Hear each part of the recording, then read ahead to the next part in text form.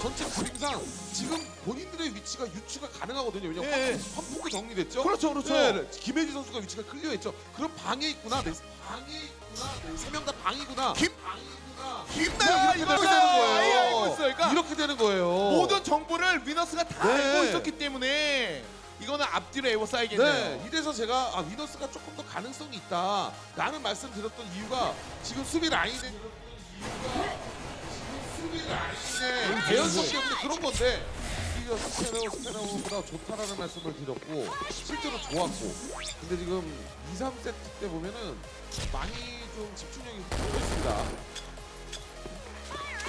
어, 두 번째. 오우. 또또 또 또 또 아 여기서 구역을 하다가 깜짝 놀랐네요. 네, 나가는 출입구. 네. 근데 데미지가 너무 아. 많아요. 아, 이해주.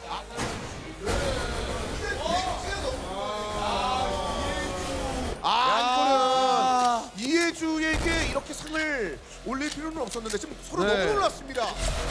쪽으로 올려놨기 때문에 short을 더블로 봐도 되고 short을 이제 열어놓고 양각을 봐도 되고 어. 충분히 가능하죠. 아, 아 이렇게 이렇게. 무릎 무릎 아이고. 아, 반샷? 어? 아이고! 아하. 아, 두 번째 깔끔했고요. 네, 하체 위주의 공략 스쿼트 제대로 줬네요. 그렇죠. 톱톱 일단 빠져줘야죠. 아, 너무 자- 상표인데요, 그거는. 아 그렇구나 오늘. 네. 아, 큰일 나죠. 케이블이구나. 네, 어제하고 좀 헷갈리신 아, 것 같아요.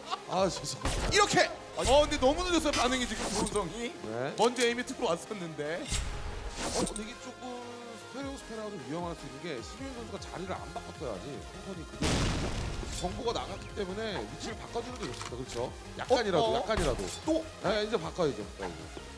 같은 자리에 있으면은 좋은 게 아니라는 말씀 매번 드립니다. 어, 그리고 뭔가 팔. 브리핑. 팔.